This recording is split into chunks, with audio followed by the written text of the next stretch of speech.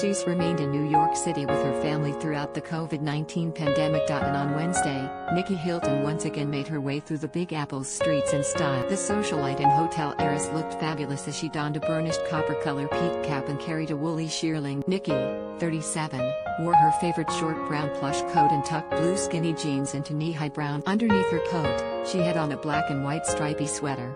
The New York native left her blonde hair loose and donned a face mask and a heart-shaped pen. Nicky, who has her own shoe collection French Sole, has been married to banker James Rothschild since 20. They are parents to two daughters, Lily Grace, 4, and Teddy, 3. And while many celebrities abandoned New York City when the coronavirus hit a year ago, Nicky has stayed put supporting local businesses and she last week, she shared a photo to Instagram of herself sitting by a window in her apartment looking out over the city. She wrote in the caption, As a born and raised New Yorker, I feel an unyielding sense of loyalty. This city has given me so much.